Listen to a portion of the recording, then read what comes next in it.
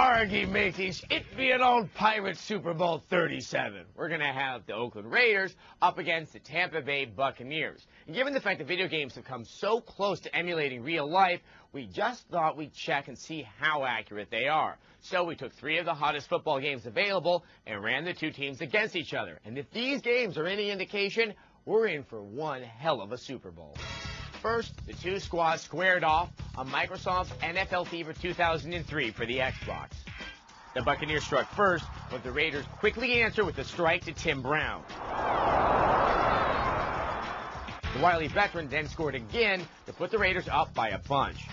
The Bucs tried to mount a comeback, but a costly Brad Johnson interception put the game on ice. Raiders win and go up one game to none. Next up, Madden 2003 for the GameCube. The game started out slow as a honey-covered snail with a rapid exchange of field goals that left the Raiders up 6 to 3. The kick sails through the upright. But at the end of the half, the Bucs scored a touchdown to take a 10 to 6 lead. Right in there for the score. After a time-consuming touchdown drive to open the second half, all the Raiders had to do was hold on to the football and run out the clock. But the opportunistic Bucs defense stripped the ball and returned it for a touchdown for an astonishing 17 to 13 victory. Touchdown, Buccaneers.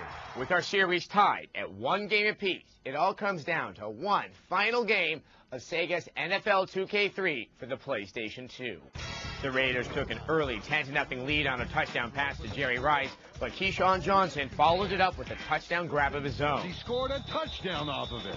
After another touchdown exchange, Watch, right by the defender. the Bucs desperately tried to get into field goal position to tie the game, but it was not meant to be. Raiders win. Raiders take the game and the series. And no, we're not fudging the results just because we're based in the Bay Area. Now, can you take these results to the bank? Probably not. But there's always the bookie.